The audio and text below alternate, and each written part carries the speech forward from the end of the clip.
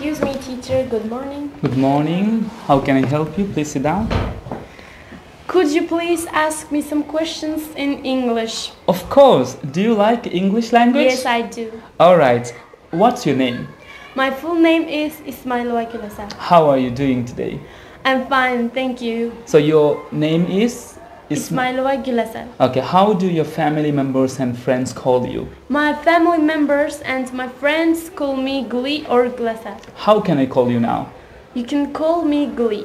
All right. Your name is very new to me. What's the meaning of your name? The meaning of my name is good girl and pretty girl. Good girl or pretty girl, right? Nice. Okay. Uh, is your name important to you? Yes, of course, because my name represents me. I have been recognized with my name. My name means a lot to me. Okay. Do you know many people change their names? Do you know that? Yes, I know. Why so many people change their names? Because some people hate their names and their names are outdated. Therefore, so many people change their names, in my opinion. Okay, so is your name outdated or modern? Which one?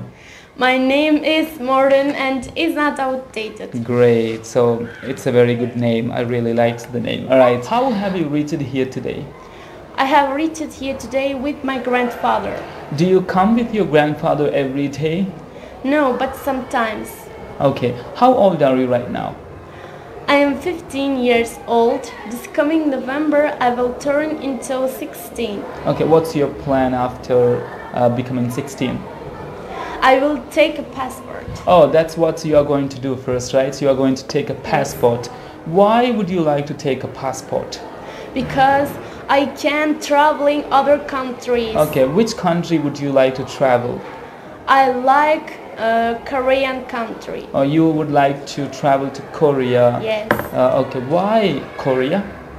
Because Korea is more most popular and Korean foods are very delicious. Oh, nice one. So let's talk about foods right now. Yeah. Do you like cooking food?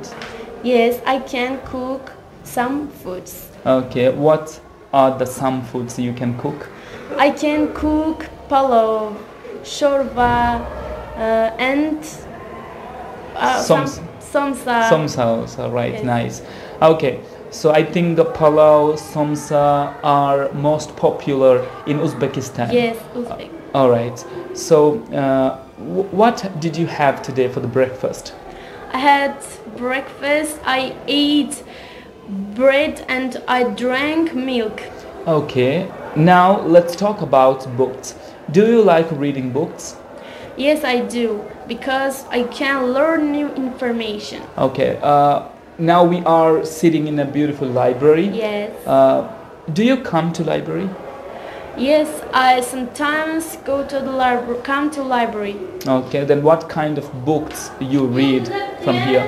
I read fiction and non-fiction books. Fictions and non-fictions Yes. books. Right. Nice one. I recommend this book to you. This is a nice book for you to read to improve your reading skills. All right. You will get many good information and uh, you will get more advanced vocabulary from this. Okay. Thank you, teacher. You're welcome. See you. Bye.